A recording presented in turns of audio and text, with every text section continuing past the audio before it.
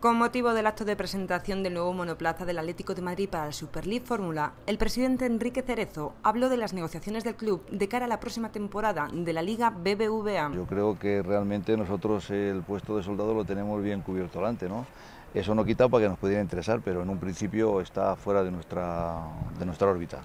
Entre los intereses del club está la continuidad de Tiago en el conjunto rojiblanco. Tiago va a ser una conversación, no voy a decir que muy rápida, pero va a ser una conversación normal, ¿no? Va a ser una negociación normal donde a nosotros nos interesa que el jugador siga, pero en unas ciertas condiciones. En cuanto al uruguayo, Cereza aseguró que no ha recibido ninguna oferta por Forlán. No hay ninguna oferta ni de Francia, ni de la Premier, ni de Italia.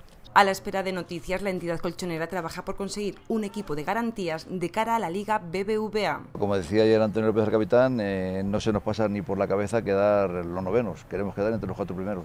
El objetivo es que el Atlético de Madrid despunte la próxima temporada en la Liga BBVA.